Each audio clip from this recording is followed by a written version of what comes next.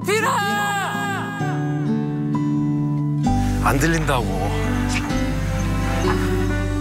아성아! 규필아! 나도 어쩔 수 없는 남자. 야! 규필아! 규필아! 아성아! 울릉도에 공항이 생긴대! 우리도 돈 모아서 여기에 땅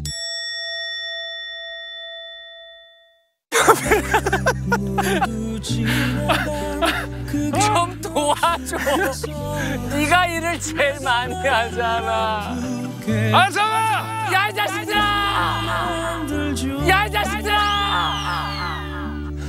들리면 들린다고 대답 좀 해라.